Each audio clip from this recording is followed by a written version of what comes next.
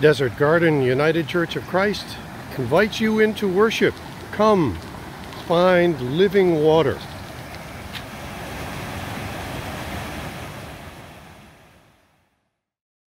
We do welcome you to this service on the last weekend in June already. Who can imagine? We're not sure when we'll be able to go live again. Whenever that is, we'll welcome you there as well. But for now, this has really worked well.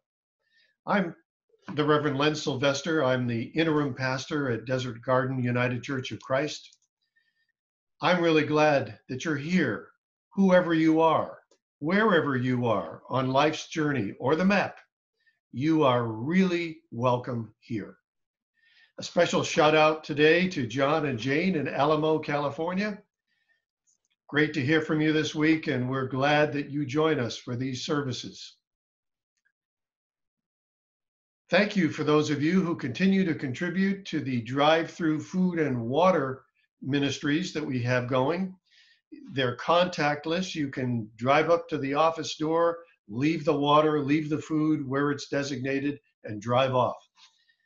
Any Monday to Wednesday from 9 to 11, we'll be happy to receive those donations and get them to where they really are making a difference.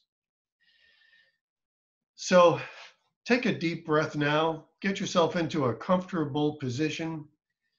Do your best to set aside all those worries and thoughts and concerns and anxieties, that long to do list that you might have. All of them will be waiting for you after this service, I promise you. But for now, enjoy the prelude and let's get ready to worship God together.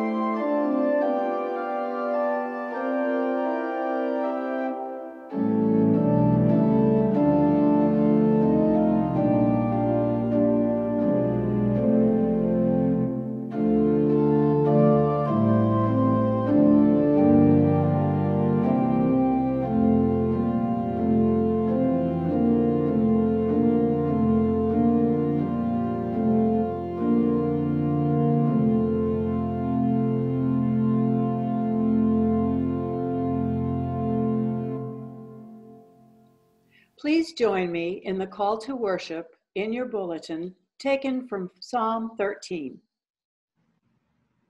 I have trusted in your steadfast love, O Lord.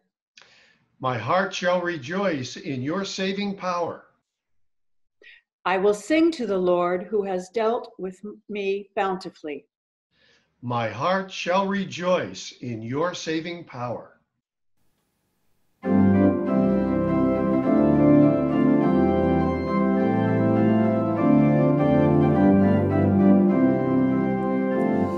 Will sing of the mercies of the Lord forever. I will sing, I will sing, I will sing of the mercies of the Lord forever. I will sing of the mercies of the Lord. With my mouth will I make known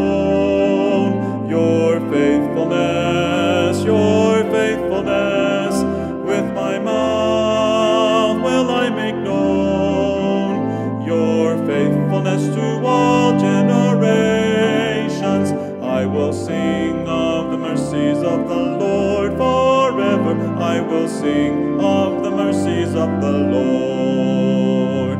All the host of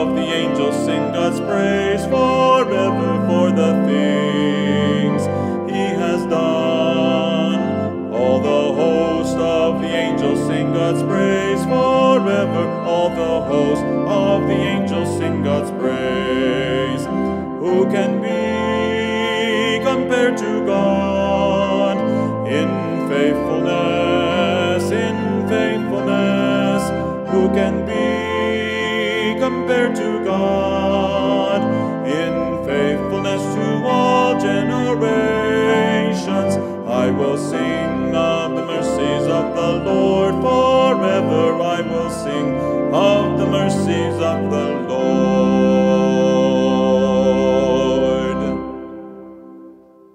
Please join with me in the prayer of invocation from your bulletin. Let us pray. For your extravagant grace, O God, our souls are filled with gratitude. Measured against our best, the extent of your seeking and welcoming love seems outrageous. Forgive us when we try to wall up the fountain of your blessing, as though it were meant only for some. Send your spirit to fire up our generosity of heart, word, and deed. In this tumultuous time, help us to show forth Christ. Amen.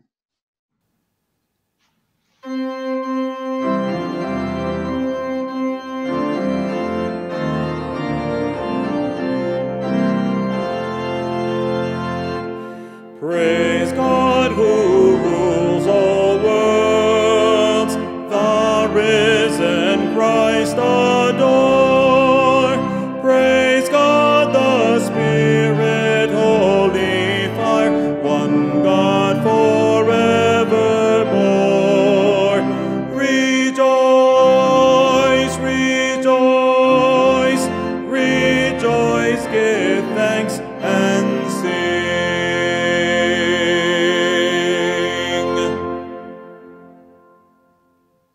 Today's Bible reading takes us into the 10th chapter of Matthew's Gospel, where Matthew has collected a number of memorable sayings of Jesus.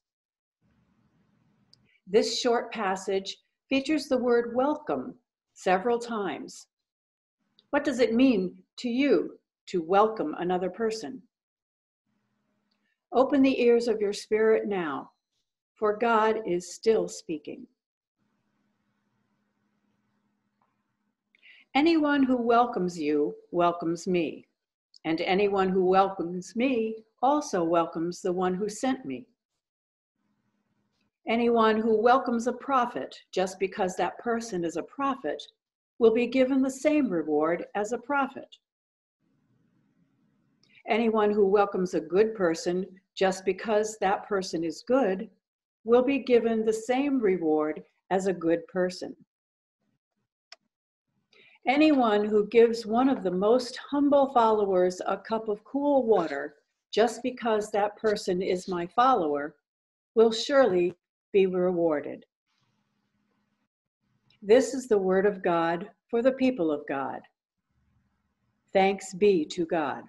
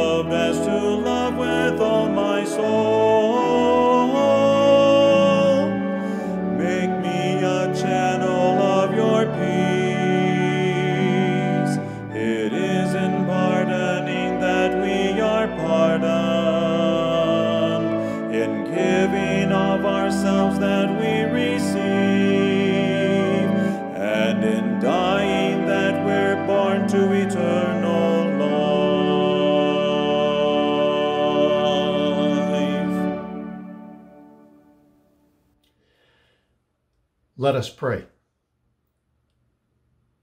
O you whose nature is that of a fountain of grace, enable us in this time of speaking and hearing to truly welcome that grace and let it flow through us to others. We pray in Jesus' name. Amen. In the 10th chapter of Mark, Jesus is preparing the disciples to do something really important, and that is to go out. To go out into the world and carry the good news of who God is and how God loves. In order to make that work successfully, there would have to be a lot of people around who were acquainted with and practicing the Jewish high value on hospitality, on welcoming others. Notice how often welcome is used in these three little verses. For the faithful Jew, and really for all of the Middle Eastern cultures, even to this day, there is a very high regard on welcoming the stranger, the foreigner, the traveler, the unknown one. And the ideal is to treat that person as though they were part of the family while they are with you. If you encounter uh, a traveling stranger in need, you welcome that person into your home. And that person has access to everything that is yours while they are your guest. So Jesus is saying to the disciples, go out, look for those people, and when you are welcomed, know that as they welcome you, they come into contact with me, and through me to the great divine reservoir of love. And the fountain image that I'm calling on is a really important one. In the bulletin, I have shown you an image of a fountain. It happens to be the one in Fountain Hills, Arizona. Many of you have seen it. If you haven't, it's worth looking up online and, and visiting one day. It's a fountain that has three giant pumps in it. Normally, two pumps are functioning, and that will shoot a jet of water up about 300 feet. If the third pump is engaged, the water goes up about 550 feet. It's an amazing sight. It's a great image for the grace of God and for our ministry in the world in the name of Christ. The early church, we'll call that church 1.0, say the first two, two and a half centuries after the resurrection of Christ. In Church 1.0, the fountain image was an apt one. Taking Jesus' words seriously to the disciples, they went out. They experienced welcome. And in turn, they carried this great fountain of grace out into the world. They welcomed everyone. In their ranks, there were very wealthy people, very poor people. There were men and women. There were uh, all kinds of races. There were slaves and free, and all were on equal footing at the table of Christ. That was of an extremely high value in Church 1.0. Now, they were at the periphery of the culture. They did not have power or position. They were on the outside, looking in. In the center of the culture, there was another image. I would call it the fortress, the Roman Empire. You know what a fortress is. I'm sure you visited them. I visited one uh, as, a, as a child in Maine, Fort Knox, not the one with all the money. and it had six foot thick granite walls to keep out cannonballs and intruders. So, fortress is all about protecting power, privilege, and position. And the Roman Empire was all about protecting their position in the world. So you had these this ring of fountains on the periphery of the culture and in the middle this fortress in church 1.0. Well, in what is being called church 2.0, the Christians moved toward the fortress and eventually blended with the Roman Empire. It became the official religion of the empire. Talk about a turnaround. So the church now had power and position to protect. And the fortress mentality became much more prominent in the Christian world. So now they weren't on the outside, they were on the inside. They weren't the powerless, they were the powerful. They weren't the ones being persecuted and being dictated to. They were the ones who increasingly were in control of other facets of culture. Church 2.0 persisted for a very, very long time, probably up through the middle of the 20th century. And we are heirs to Church 2.0 with uh, all of its structures and all of its doctrines and all of its mindset. In these days, we are moving into what is being called Church 3.0, and no one knows quite what that will look like, except that it probably will look more like Church 1.0 than Church 2.0. And I hope that makes some kind of sense to you that it's more about fountain than fortress. It's more about giving and spreading and including and uh, really mirroring the amazing fountain of God's grace than it is about protecting and keeping power and position. In Church 3.0, communities may be smaller. They may not have buildings like we do now. It's really hard to know what that's going to look like. Jesus told many stories about God, many parables. Uh, my favorite collection of those is in the 15th chapter of Luke. And if you go back and read the 15th chapter of Luke, it's really an outrageous portrait of God, and I think that was Jesus' intention. He wanted the readers and hearers to say, Are you kidding me? That's what God is like? In particular, in the parable that we call the prodigal son, which is really the parable of the outrageously loving father and forgiving father. What a parable, what a portrait. Terrible parenting, but a vivid portrait of a God who is not at all about fortress, and everything about fountain. Let the party begin. You may recall the story of Jesus at the wedding in Cana from the Gospel of John. When the wine runs out and uh, Jesus is shown as converting ordinary water into wine, not just any wine, the best wine, and not just enough wine, but literally a fountain of wine the very best wine in abundance. It's an abundant story. That's what we're supposed to take from that, I believe.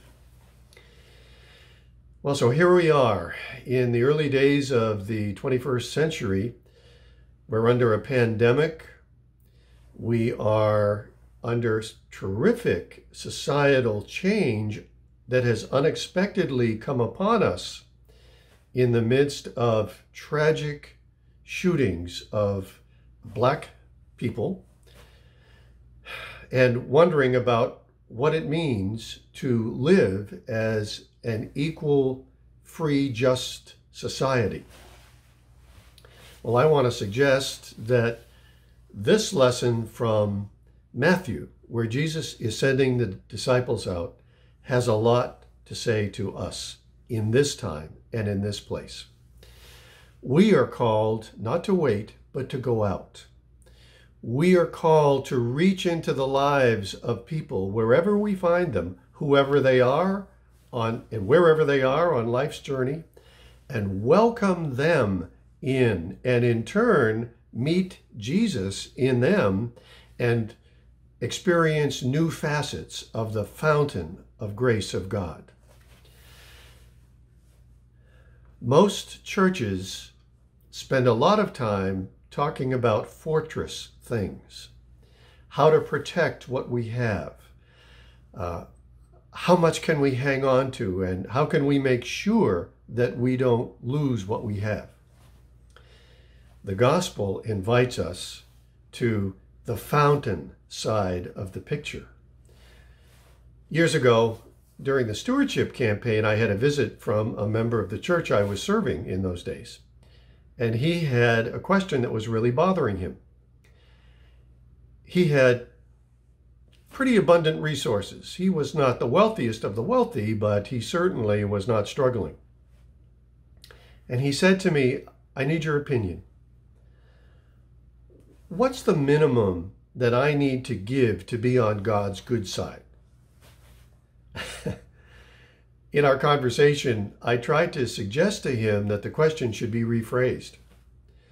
What's the minimum that you need to keep to be a responsible citizen and not being relying on others? What's the minimum that you need to keep in your fortress in order to be an abundant fountain of grace and find the joy that comes with that? Well, I can't say that he was convinced, and I'm not sure how he handled his giving from that point forward. Of course, there's no pure fountain. There has to be some fortress. We do need to have some core of things to keep us going and be responsible. That's obvious. The issue is where's the line if you picture a sliding, uh, maybe a slide rule with a slider going along the line with fortress at one end and fountain at the other? How close does that slide need to be to one end or the other in order for us to be fully faithful and fully responsible? There's no easy answer to that question, and every community will answer it differently, and every person will. As Desert Garden United Church of Christ moves into the search phase for its next pastor, believe me when I tell you that fortress and fountain issues will be discussed. They will be in the profile that is being prepared. Always. They have to be. And it's a useful thing in your committee meetings in the days going forward. As things come up for discussion, ask yourself are we talking now here about fortress or are we talking about fountain? And uh, in the spirit of Christ, do what you can to move things in the direction of fountain as far as you can. Well, I want to close with, a, with an important contemporary image for us. You may not realize it, but on the campus of Desert Garden Church, there has always been a fountain, or there has been for many years. It hasn't worked, as one of you said, in God knows how long. Well, thanks to Dwayne and his good stewardship and capabilities, it's now working. It stands at the entrance to the memorial garden and it's visible through the clear glass windows on that side of the church sanctuary. So as you worship, if you choose to, you'll be able to look out those windows and see that fountain. I love that, and I'm so glad it's working again.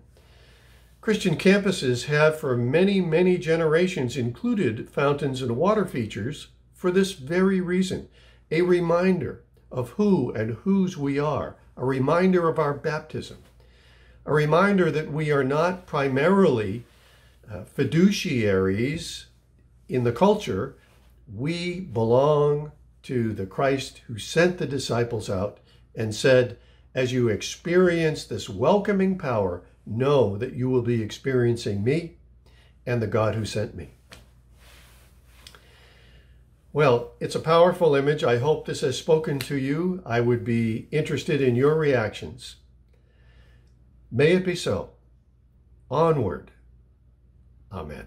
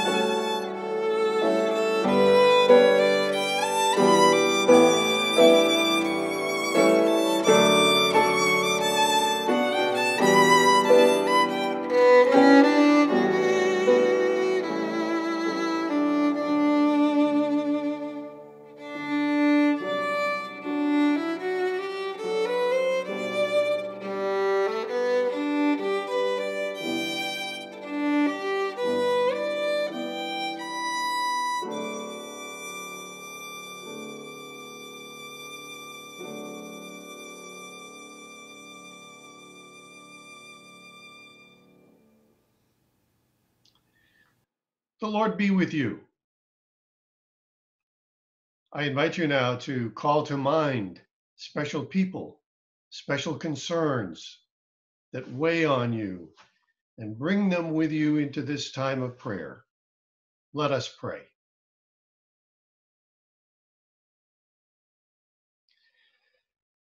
Oh God, we who are in Arizona and other places are living in the midst of this pandemic, which shows no signs of easing.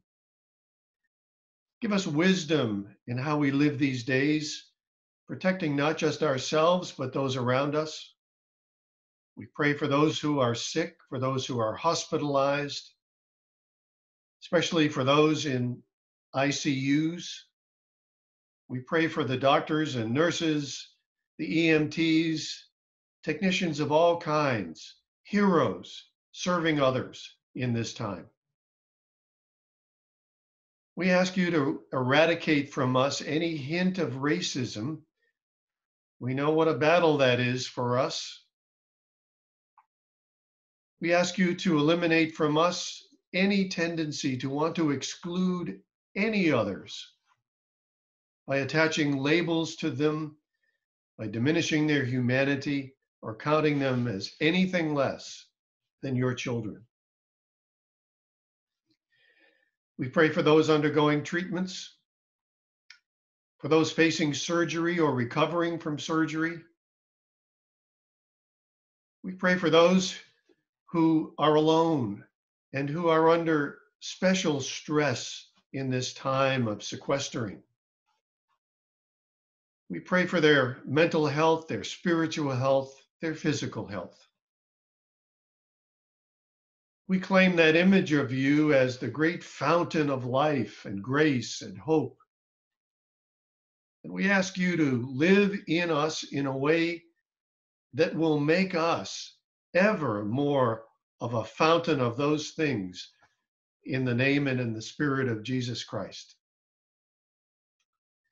We would be your people in every possible way as your Holy Spirit leads us onward. Hear us now as we join our voices and our spirits together, praying this very ancient prayer. Our Father, who art in heaven, hallowed be thy name. Thy kingdom come, thy will be done on earth as it is in heaven. Give us this day our daily bread, and forgive us our sins as we forgive those who sin against us and lead us not into temptation, but deliver us from evil. For thine is the kingdom, and the power, and the glory forever. Amen.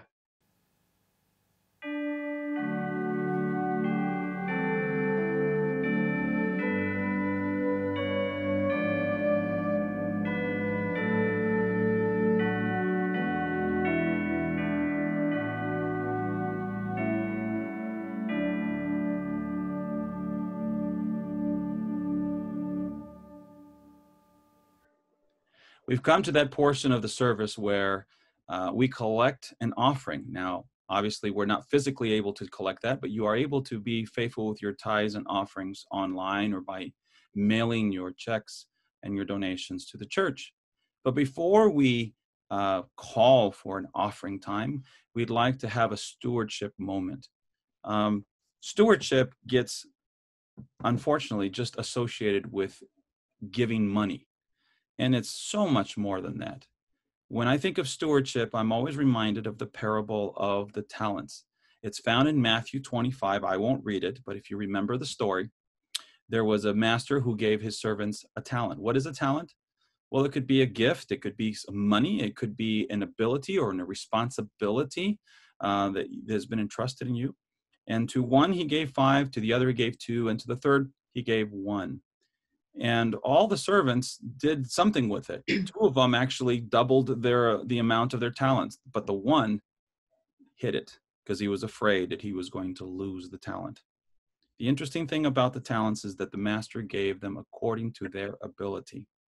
And i believe god gives each one of us an ability in stewardship an ability to serve him with some gift or some responsibility some ability that we have is not just financial and Lynn, I know that you are uh, very passionate about a certain area of ministry and serving God. And Lynn and I both are in the stewardship committee. But Lynn, go ahead and tell us what you have, what's on your mind. There's an old Peter, Paul, and Mary tune called Music Speaks Louder Than Words. And I might change that a little and say that music speaks as powerfully as the written word. Maybe not more so, but as powerfully. And so I would ask you to think about music as part of your stewardship to the church. Uh, there are various ways to do music. The choir, of course, the bell choir. Uh, maybe you play an instrument. Uh, and you don't have to be great. You just have to want to do it and to want to speak to the congregation through music. The first night that I walked into choir practice, um, I was scared because I didn't know anybody. I had just joined the, chur- the church. And they welcomed me like a friend.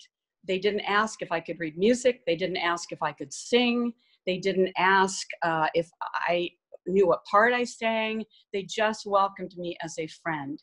And I know they would do the same for you. So I'm just asking you to think about music as part of your stewardship to the church. Thank you, Lynn. Uh, again, it could be music, it could be a, a whole slew of different ministries and activities that the church is offering. And even though we're not able to physically meet, you can still get involved. There are still committees that are meeting, there are planning that is, that is taking place. Um, we even had some people join the virtual choir, which is very interesting. Whatever God is calling you, remember that He is calling you because He's given you an ability according to what you're able to do, and He's asking you to develop it. So, as we approach the time to collect our offering, again, you can do that online or you can uh, mail that in. Uh, prayerfully consider how you might get involved in stewardship moving forward. At this time, we will meditate on these words and the collection of the offering through the offertory.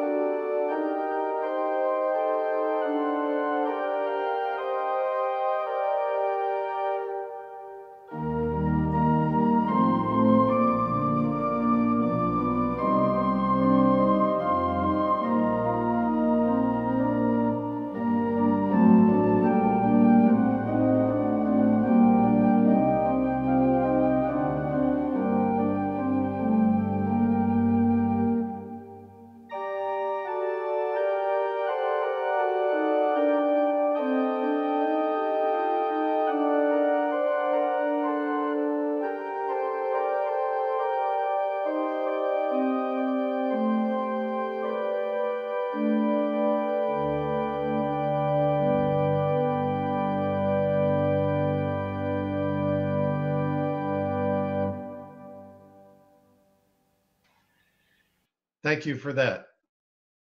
Let us pray. Oh God, receive these gifts as our down payment on our commitment to be your people in this time and place. May we bear your blessing like a fountain into the lives of others and thereby meet Jesus. In whose name we pray. Amen.